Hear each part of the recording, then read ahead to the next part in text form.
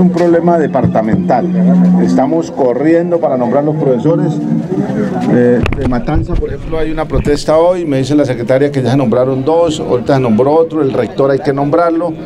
Ese problema se nos da porque nosotros nombramos 1.500 profesores que ganaron el concurso. Esos 1.500 estaban en cargos de acá, salieron de esos cargos a posesionarse, nos quedaron 1.500 huecos y eso tiene un procedimiento para nombrarlo. Estamos trabajando en eso, acelerando, dándole todos los recursos a la Secretaría de Educación para poder solucionar el problema. ¿Alguna fecha para darle como esa parte de tranquilidad? No, toca ir solucionando por sitios con el personal que tenemos, con los recursos que tenemos, tratando de que funcionen las escuelas y tratar lo más rápido posible, pero no, no tenemos una fecha exacta.